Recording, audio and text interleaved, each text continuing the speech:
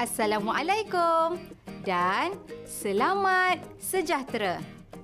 Apa khabar murid-murid? Cikgu harap murid-murid sehat dan sentiasa bersemangat untuk belajar. Saya Cikgu Atika, ejaan nama A T I Q A H. Saya mengajar di sekolah SK Kuala Kubu Baru, Selangor. Pada hari ini, murid-murid akan belajar bahasa Melayu tahun 5 bersama dengan saya. Baiklah. Pada hari ini kita akan belajar tentang cara mudah penulisan ulasan. Kamu tahu? Ulasan sama dengan huraian. Sebelum kita memulakan pembelajaran kita pada hari ini, pastikan murid-murid memeriksa dan memakai alat bantu dengar. Jangan lupa pastikan buku kod tangan bahasa Melayu, buku tulis dan alat tulis ada bersama kamu. Sebelum kita teruskan pembelajaran kita, jom ikut cikgu buat senaman jari. Mula-mula, regangkan jari seperti ini seketika. Sedia? Mula.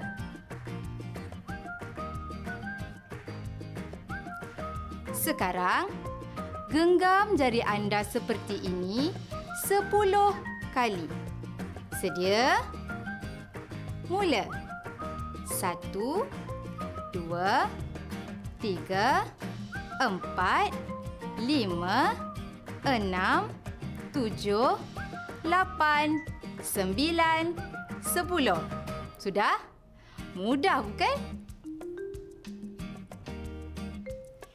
Sepanjang pembelajaran kita, murid-murid akan jumpa dengan perkataan ini. Yang pertama, ulasan. Yang kedua, pendahuluan. Yang ketiga, isi tersurat. Yang keempat, isi tersirat. Sama dengan sembunyi. Dan yang kelima, kesimpulan.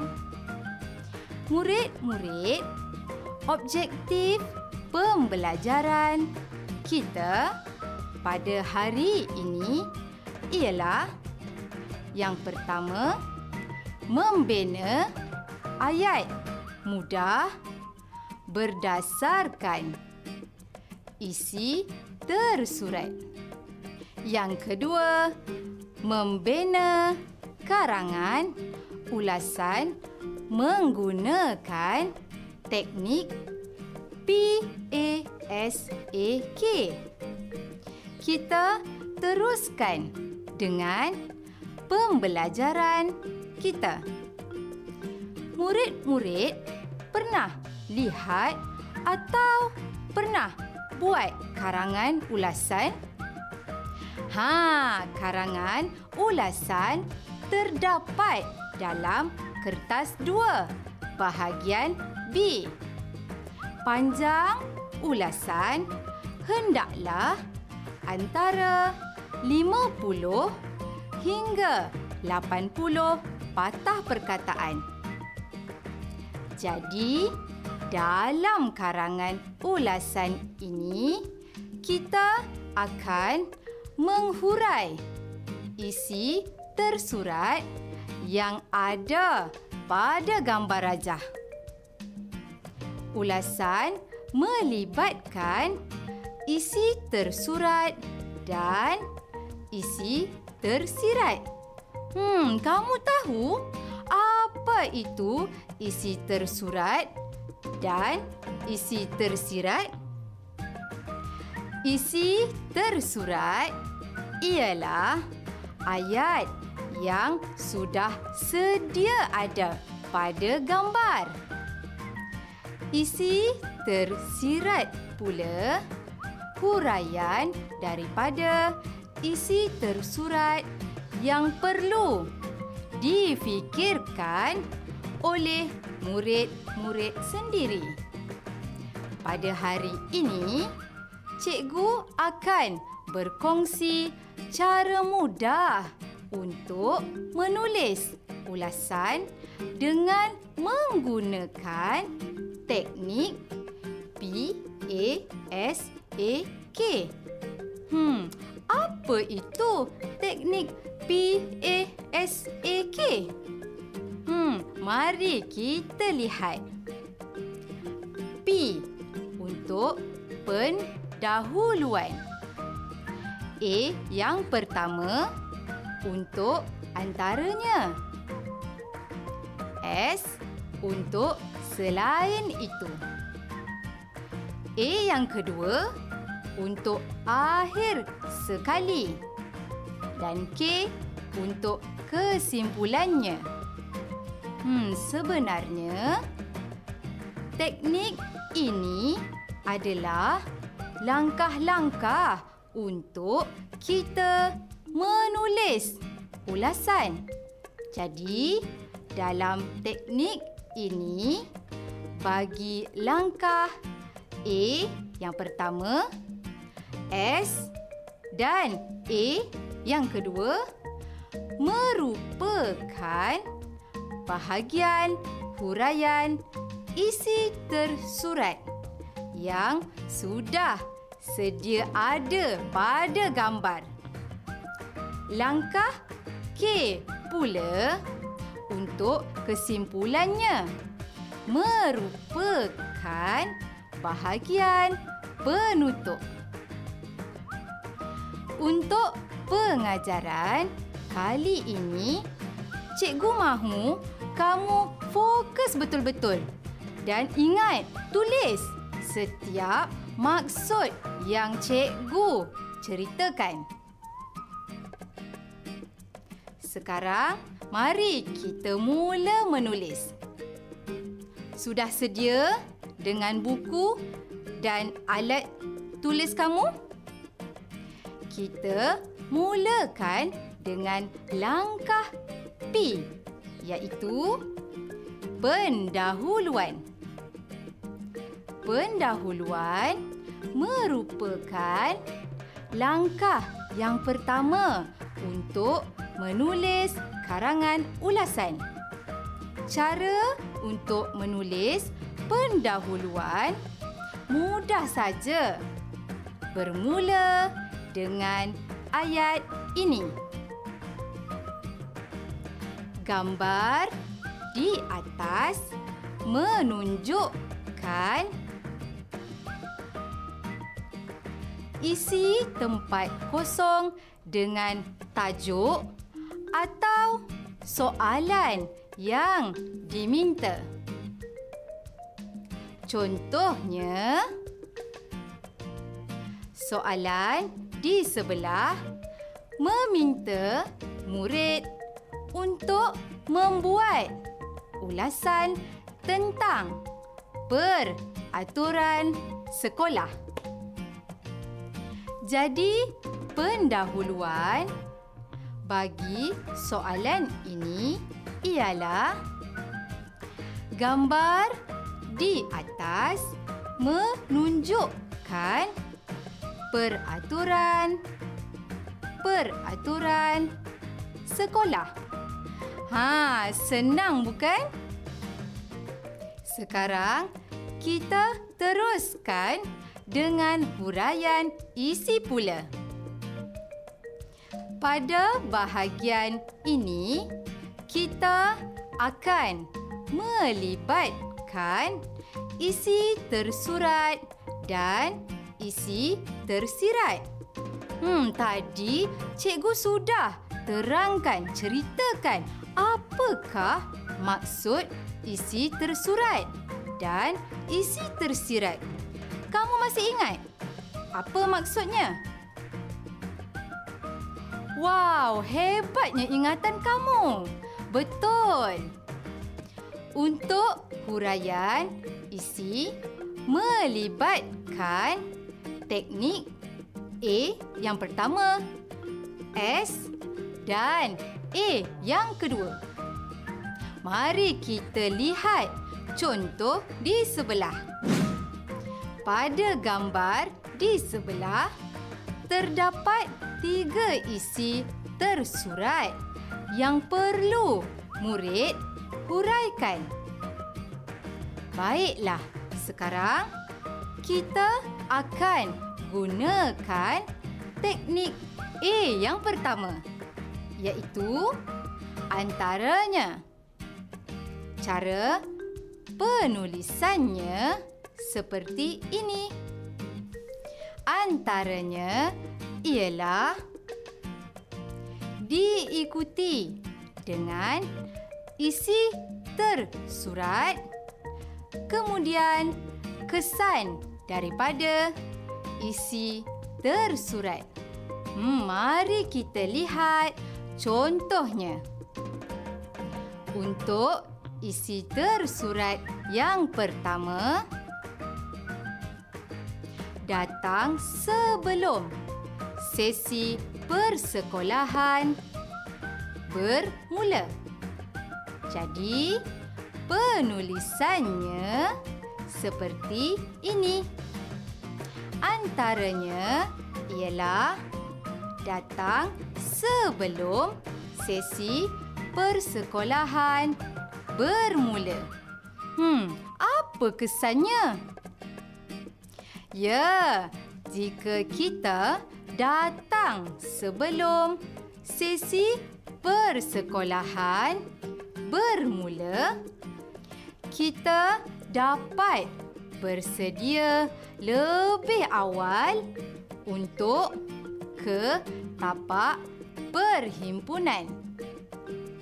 Murid-murid faham cara penulisannya? Bagus. Cara penulisan isi ini juga akan digunakan untuk penulisan isi tersurat yang kedua dan yang ketiga. Sama saja. Sekarang kita buat pula untuk isi tersurat yang kedua. Memakai uniform lengkap. Kita akan gunakan teknik S iaitu selain itu. Jadi, penulisannya seperti ini. Selain itu, kita perlu memakai uniform lengkap. Apa kesannya?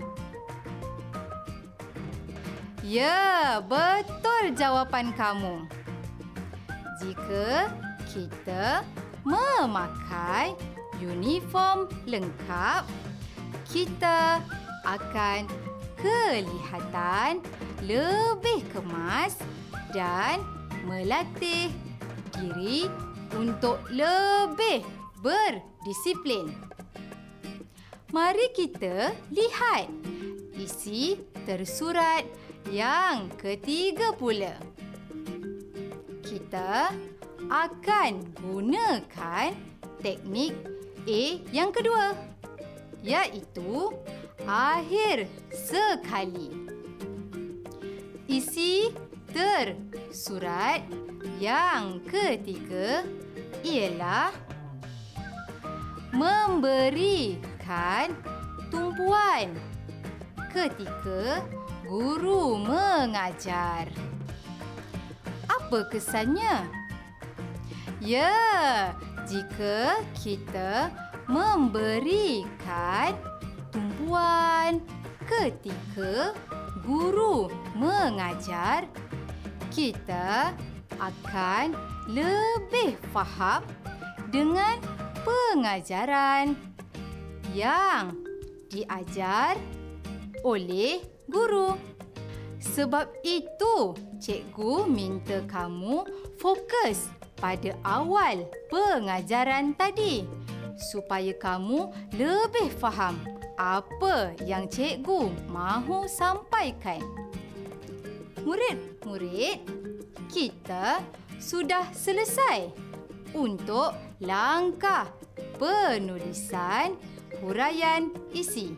Sekarang, mari kita lihat bagaimana untuk menulis langkah penutup pula. Langkah penutup merupakan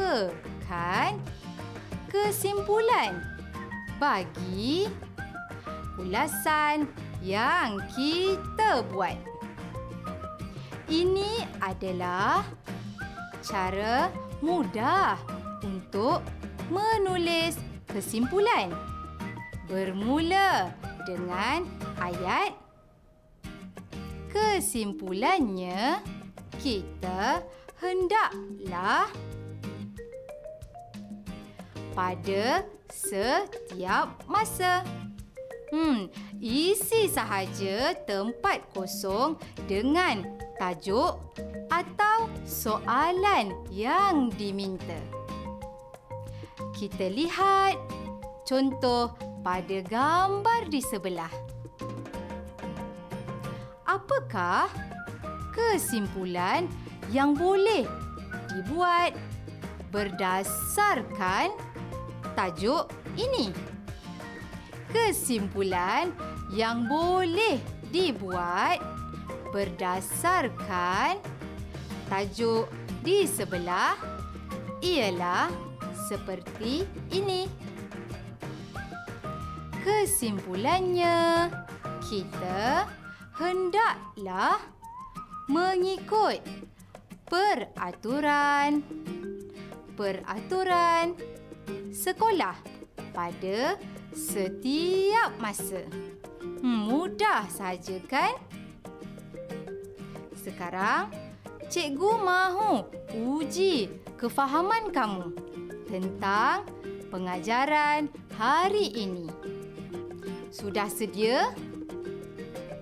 Sediakan buku dan alat tulis kamu juga. Bagus. Baiklah. Kita lihat pada gambar. Soalan pada gambar meminta murid untuk membuat ulasan tentang tanggungjawab terhadap ibu bapa. Murid-murid, jangan lupa untuk gunakan teknik yang kita pelajari hari ini. Teknik apa? Ya. P A S A K. Pandai murid-murid. Sekarang kita mulakan dengan langkah yang pertama iaitu P. Pendahuluan. Untuk pendahuluan, kita mulakan dengan ayat. Ya, betul. Gambar di atas menunjukkan. Kemudian, kita sambung dengan tajuk atau soalan yang diminta. Jadi, untuk pendahuluan bagi soalan ini ialah ya gambar di atas menunjukkan tanggungjawab terhadap ibu bapa. Sudah selesai untuk pendahuluan. Kita pergi ke langkah menghurai isi pula.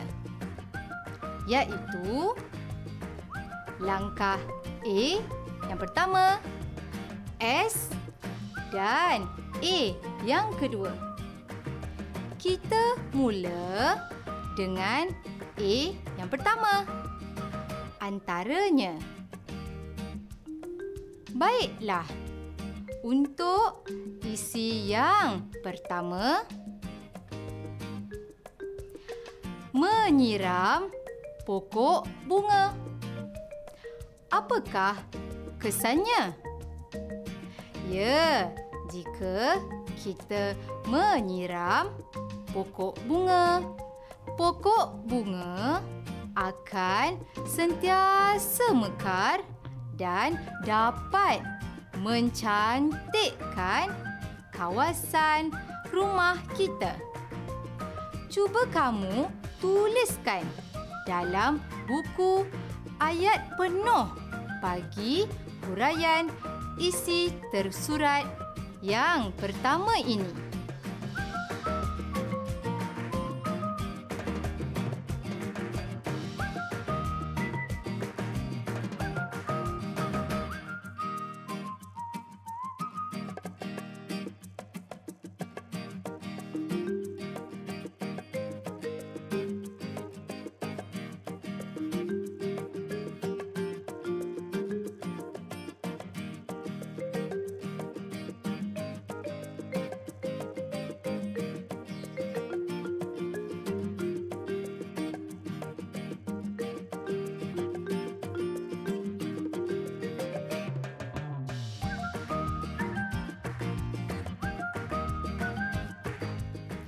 Baiklah. Kita lihat pada isi yang kedua. Kita akan gunakan selain itu pada ayat ini. Isi yang kedua ialah menjaga adik. Apakah kesannya? Jika kita bantu ibu bapa menjaga adik? Ya, betul. Kamu boleh juga menulis kesan seperti ini. Jika kita menjaga adik, kita dapat membantu meringankan tugas ibu bapa. Tuliskan dalam buku kamu ayat penuh untuk huraian isi yang kedua.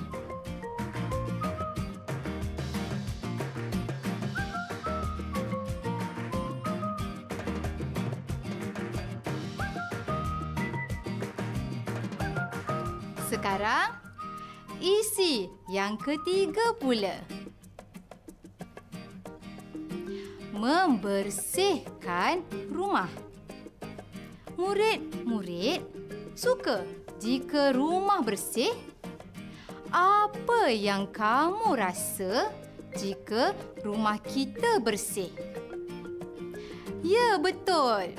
Jika kita membersihkan rumah, kita akan rasa selesa dan seronok berada di rumah. Sekarang, cikgu akan berikan masa kepada kamu untuk menulis ayat yang penuh bagi isi tersurat yang ketiga ini.